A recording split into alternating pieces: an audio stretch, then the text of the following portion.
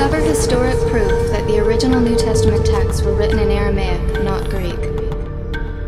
Learn why Yeshua's name was changed to Jesus to conform with ancient Greek thought patterns and traditions. Find out Messiah's date of birth. It isn't Christmas.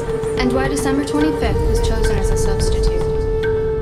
Enhance your understanding through nearly 1,700 footnotes and 350 pages of appendixes about the original New Testament text, not found in any other Bible.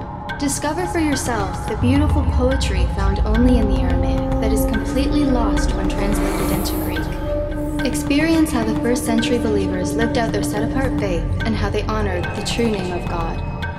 Discover for yourself how the Aramaic English New Testament is different from all other.